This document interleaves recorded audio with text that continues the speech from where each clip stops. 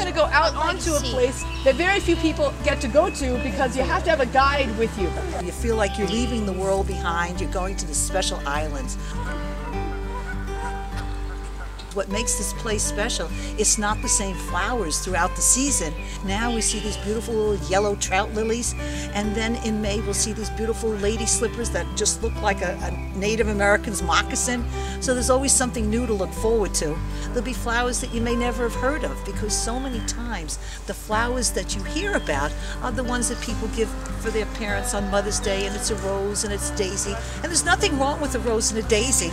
I love it, but it is fun to find something that's very tiny and very special, and it has leaves and flowers and will reproduce. It's the idea of discovery, something that you don't see in the supermarket and you don't see in Toys R Us. We have some great little books that will show you how to make it like a scavenger hunt and kind of check it's like a, you check off the list. Does this little flower have four petals? Uh, does it have leaves that are opposite each other?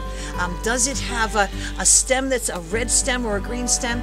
And then you find out what it's called. So it's like a big riddle. Today we were excited older people we were excited to find that tra trap lily.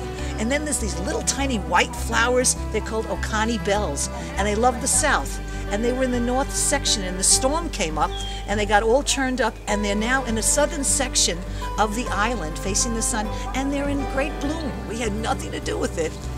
They started to bloom again. I do enjoy telling people what I liked, and even though they'll say, "Oh, Mary, you're a tree hugger," yeah, I'm proud to be a tree hugger.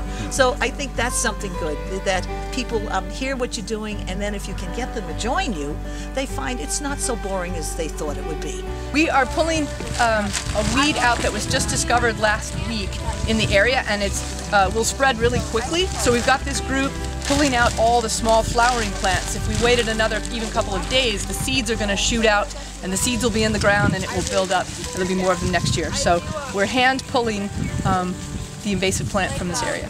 What I, I really think is terrific is that to open this place up, this island, to others, especially younger people, that they'll get excited and they'll pass it on, and so the chain will continue and we won't have it broken. There's room for all of us the plants, the animals, and we the people.